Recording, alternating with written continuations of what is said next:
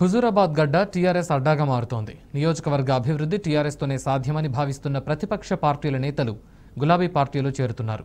తాజాగా హుజూరాబాద్ కాంగ్రెస్ నేత ఎంపీ రేవంత్ రెడ్డి అనుచరుడు మాజీ మంత్రి ముద్దసాని దామోదర్ రెడ్డి కుమారుడు కశ్యప్ రెడ్డి టీఆర్ఎస్లో చేరారు. మంత్రి హరీష్ రావు సమక్షంలో గులాబీ కండువా కప్పుకున్నారు.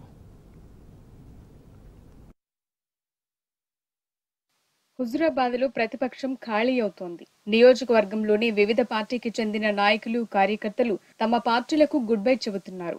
తాజాగా హుజురాబాద్లో కాంగ్రెస్ పార్టీకి చెందిన ముఖ్య నాయకుడు టీఆర్ఎస్లో చేరారు. ఎంపీ రేవంత్ రెడ్డి ముఖ్య అనుచరుడు మాజీ మంత్రి ముద్దసాని దామోదర్ రెడ్డి కుమారుడు కశ్యప్ రెడ్డి మంత్రులు గంగుల కమలాకర్ కొప్పుల ఈశ్వర్ వి. బాల్కసుమన్ సమక్షంలో గులాబీ పార్టీలో జాయిన్ అయ్యారు. కశ్యప్ రెడ్డికి మంత్రి హరీష్ రావు పార్టీ కండువా కప్పి సాదరంగా ఆహ్వానించారు.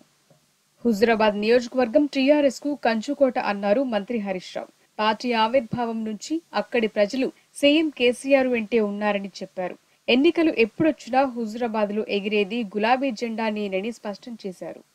సీఎం కేసీఆర్ సుపరిపాలనకు ఆకర్షితుడినై టీఆర్ఎస్లో చేరానని కశ్యప్ రెడ్డి పేర్కొన్నారు. హుజురాబాద్లో వందల మంది కాంగ్రెస్ను వీడి టీఆర్ఎస్లో చేరేందుకు సిద్ధంగా ఉన్నారని చెప్పారు. వచ్చే ఉప ఎన్నికలో సీఎం కేసీఆర్ ఎవరిని అభ్యర్థిగా నిలబెట్టినా అఖండ విజయం సాధించేది టీఆర్ఎస్ఏనని స్పష్టం చేశారు. టీఆర్ఎస్ అభ్యర్థి గెలుపు కోసం అంకిత భావంతో పనిచేస్తామని ప్రకటించారు.